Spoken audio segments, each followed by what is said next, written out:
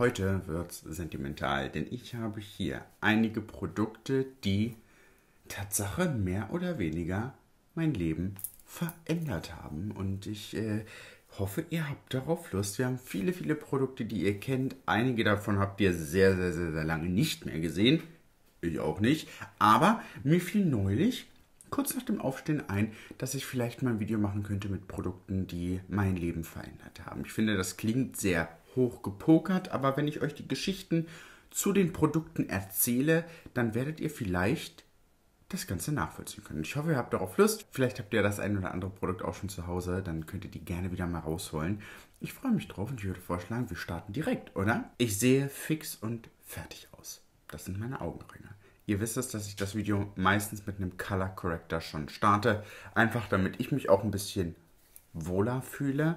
Habe ich jetzt in diesem Video extra nicht gemacht. Denn es gibt ein Produkt, was mir geholfen hat, mich wohler zu fühlen. Ihr kennt es mit Sicherheit wir alle haben etwas, was uns Unwohlsein fühlen lässt. Und bei mir sind das definitiv meine Augenringe. Die habe ich schon sehr, sehr, sehr, sehr lange. Ich bin auch gerade dabei, vieles zu tun und es wird auch besser, aber es ist immer noch da und ich werde mich damit arrangieren müssen. Das fällt mir ehrlich gesagt auch noch ein bisschen schwer, weil ich halt eine Maus bin, die ungern etwas auf sich sitzen lässt. Und äh, die Augenringe lasse ich ungern auf mir sitzen. Aber ich habe vor, das ist schon einige Jahre her, das hier gefunden von Charlotte Tilbury. Das ist, ist das Magic Vanish. Ich verlinke euch alle Produkte, falls es sie gibt. Und ich habe das bei irgendjemandem mal gesehen und dachte mir, das könnte dein Produkt sein. Und dreimal dürft ihr raten, was passiert ist. Es ist mein Produkt geworden. Ich habe es, glaube ich, mittlerweile sechsmal nachgekauft. Ich habe es in zwei verschiedenen Farben. Ich habe hier die zwei, ich habe es auch nochmal in der eins. Und das ist etwas, ich weiß nicht warum, aber sobald ich es drauf habe, fühle ich mich ganz anders. Und es hat mir geholfen.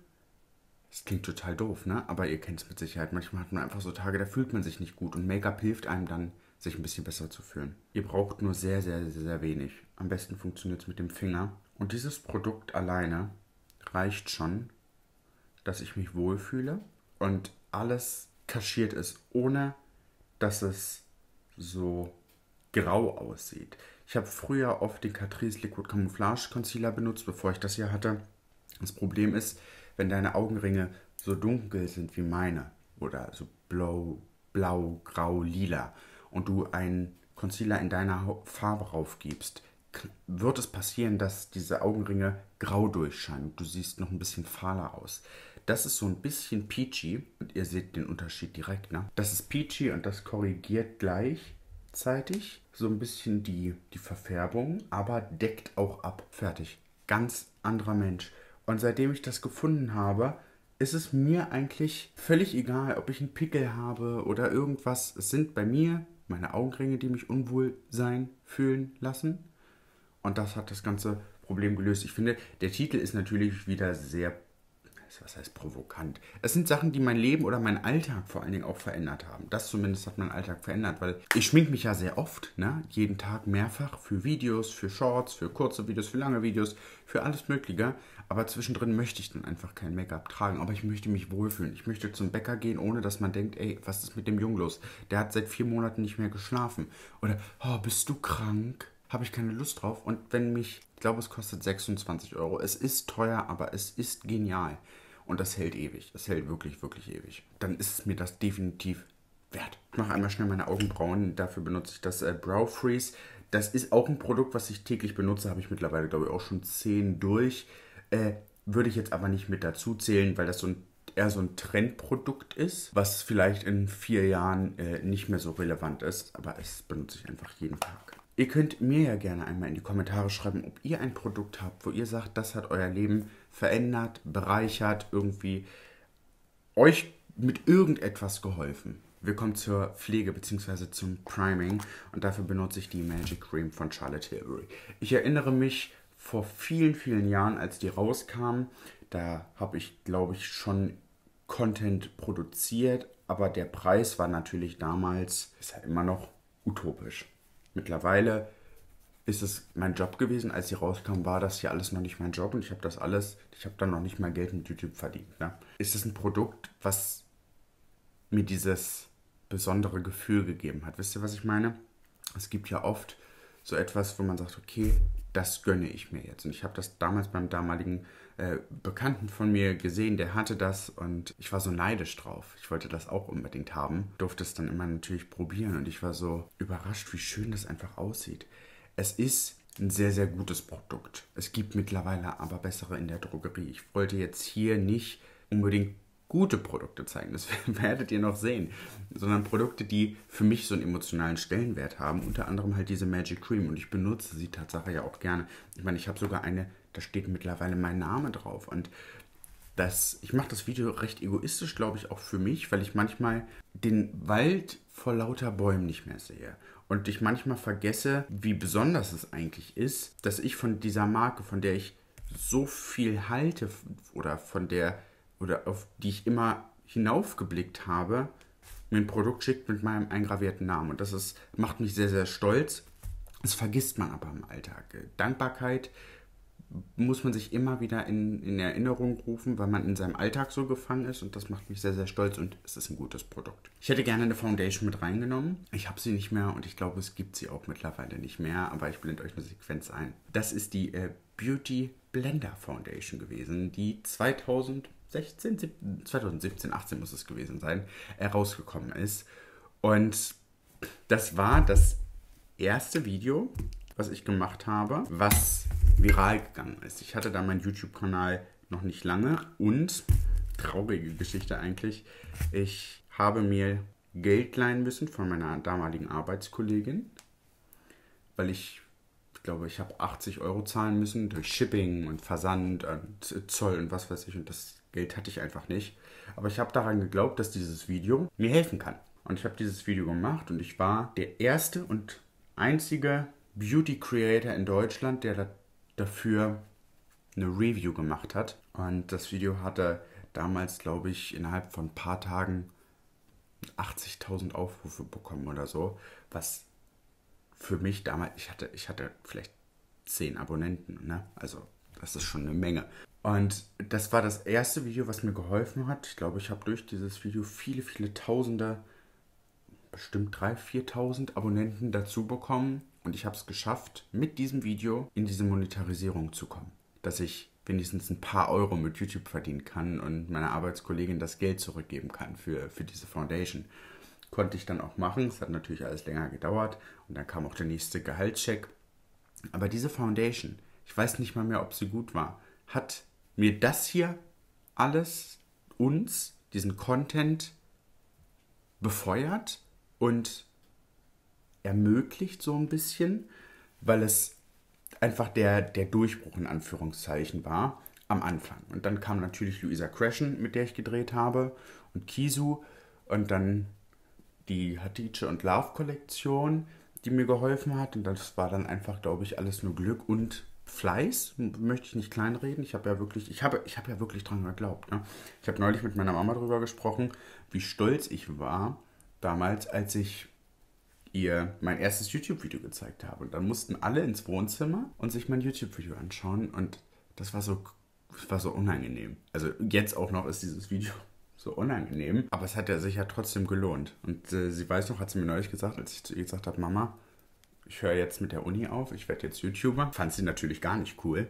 Aber ich habe ihr das erklärt und sie hat gesagt, okay, findet sie nicht gut. Sie will, dass ich weiß, dass es vielleicht nicht die richtige Entscheidung ist.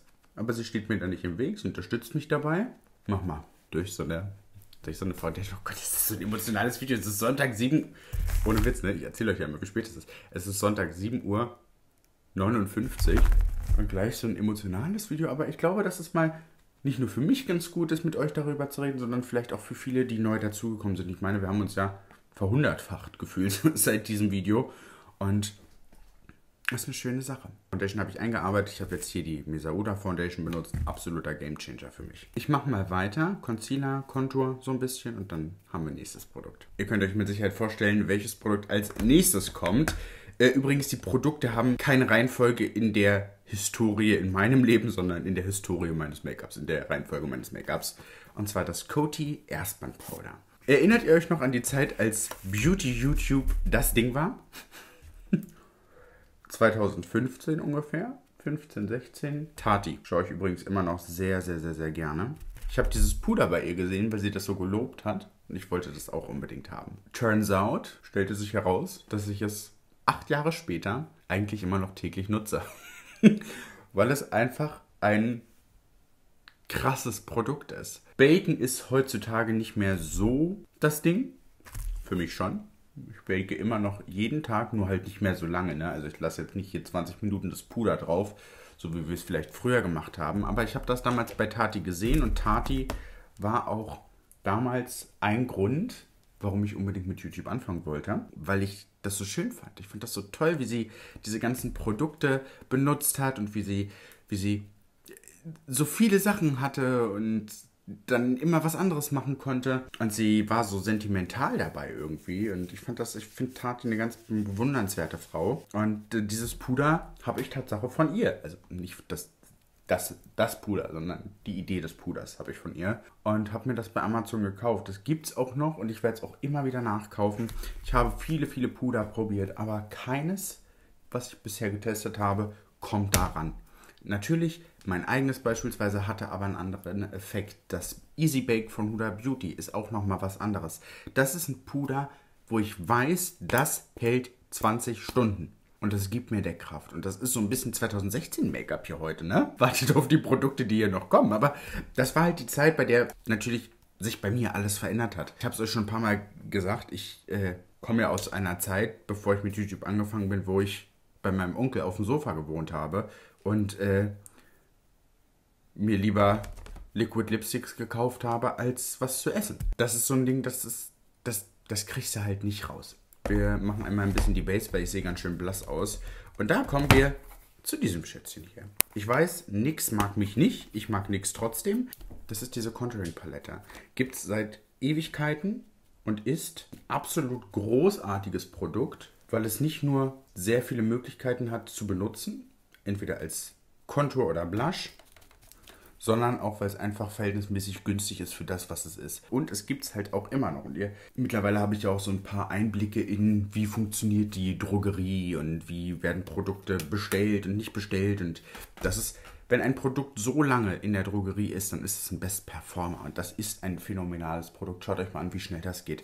Ich mische einfach die Farben. Ich könnte jetzt sogar, kommt, jetzt sind wir schon mal hier hier so eine helle Farbe nehmen. Heutzutage würde hier wahrscheinlich noch ein rosaner Ton mit drin sein. Den Ton nehmen und hier ein bisschen highlighten, um so einen Lifting-Effekt zu haben. Boom. Hello 2016 Make-up Maxim. Schreibt mir gerne mal in die Kommentare, das würde mich sehr interessieren, seit welchem Video, vielleicht erinnert ihr euch noch dran, ihr mir folgt, hier auf YouTube zumindest. Ich weiß, viele werden sagen, entweder Beauty Blender, Hattie oder Tatsache. äh, Nivea. Ist ja auch schon ein bisschen her. Ah, ich habe was im Auge. Äh, ist auch schon ein bisschen her. Und viele wissen gar nicht, dass äh, es fällt mir im Moment so ein bisschen auf durch neue Kurzplattformen, dass viele zum Beispiel denken, dass die Rival Loves Me Kollektion meine erste ist und sie vorher noch nie was von mir gesehen haben.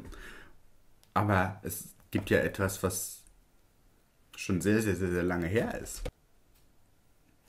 Das äh, Luvia Cosmetics meets Maxim Giacomo Prime Glow Kit. Wow! Das ist so lange her, aber ich kann mich daran erinnern, als wäre es äh, erst gestern gewesen. Look at her. She's beauty, she's perfection. Ich habe sie so lange nicht mehr in der Hand gehabt, ne? Das ist eine Highlighter-Palette gewesen. Dubai Landebahn. Es war sogar ein Pinsel mit dabei. Ich weiß noch, wie wir die gemacht haben. Fun Fact: Ich würde sie heute so nicht mehr machen, natürlich, weil sie ähm, einfach heute viel zu stark ist.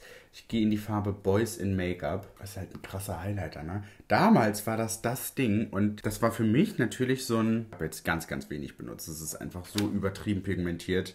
Äh, du kannst sogar damit bronzen und so. Das ist äh, eine Musterpalette. Deswegen will ich die jetzt nicht so stark beschädigen. Ich wollte sie aber mit reinnehmen weil es einfach, das, das war halt meine erste Collab, ne? Und ich weiß auch nicht, was Luvia sich dabei gedacht hat, das damals mit mir zu machen.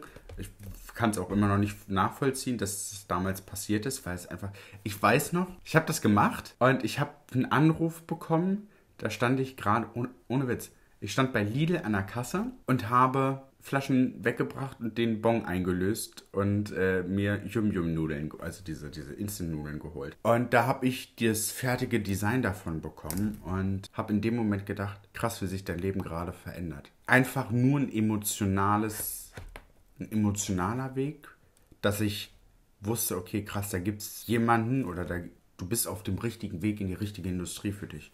Und das äh, liegt mir natürlich heute noch sehr nah. Deswegen das Prime Glow Kit äh, war das erste Produkt, was ich jemals rausgebracht habe. Und das war super. Wir hatten danach noch eine Pinselseife und Schwämme und wir hatten äh, die Catrice Kollektion 1, die Catrice Kollektion 2, River Loves Me 1, River Loves Me 2 und dann natürlich auch noch meine eigene Brand. Und das war schon krass.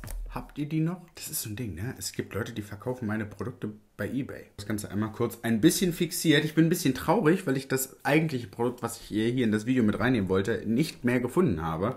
Und zwar die Jacqueline Hill Palette. Das ist jetzt die 2. Eigentlich wollte ich die 1 nehmen, weil ich die 2 ist mir ein bisschen zu lila und ein bisschen zu rot. Wir machen heute nur einen Basic Basic Look damit, weil ich äh, gleich noch ein bisschen was anderes machen muss. Vorher lassen wir das Spray aber einmal kurz fixieren. Okay, ich habe die Palette seit gefühlt 2016 nicht mehr angefasst. Wir gehen in die Farbe Perfectionist und setzen uns die in die Lidfalter. Es ist schon krass, ne? wie sich das Ganze verändert hat. Erstmal distanziere ich mich ganz, ganz wichtig von allen shady Businesses, die Jacqueline Hill hier macht oder gemacht hat. Wollte ich sie auch eigentlich nicht mit reinnehmen, aber die Alternative wäre Jeffree Star gewesen. Ne? Also wir müssen, wir müssen auch mal ehrlich sein. Das war einfach zu dem Zeitpunkt das, was, was da ist und das ist es ist schwierig, es ist so ein bisschen dünnes Eis, aber da, während ich hier ein bisschen ausblende, kann ich euch so ein bisschen erzählen. Es gibt wenige Leute in diesem Business, die mich unterstützt haben oder auch heutzutage noch unterstützen. Ne? Das ist nochmal was anderes als vielleicht vor fünf Jahren oder so, vier Jahren, als ich angefangen habe, aber es waren wirklich nur, nur wenige und das sind auch sehr, sehr wenige, mit denen ich wirklich Kontakt habe. Ich habe so ein bisschen das Gefühl, dass manche Leute denken, dass ich ihnen irgendwie was weggenommen habe oder so, dadurch, dass ich Content gemacht habe, was okay ist oder dass ich dazugekommen bin, das ist okay, das kann ich nachvollziehen aber es gibt wenig Leute, mit denen ich heute Kontakt habe, denen ich nicht nur vertraue, sondern auch mit denen ich viel Kontakt habe. Und das ist okay.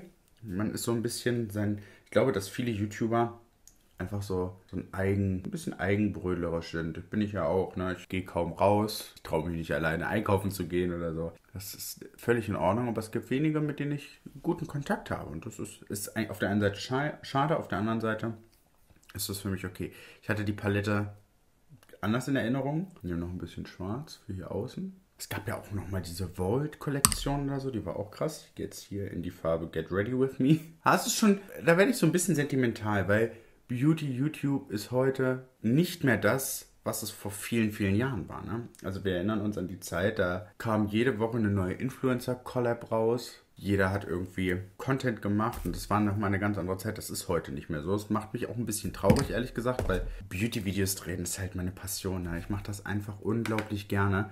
Klar gibt es auch mal Tage, wo ich mir denke, so, ich habe keine Lust drauf. Ich habe einfach keine Lust, mich heute zu schminken. Aber du kannst ja auch nicht zu deinem Chef oder deiner Chefin sagen, du, ich habe heute keine Lust, äh, arbeiten zu gehen. Dafür macht es mir einfach zu viel Spaß.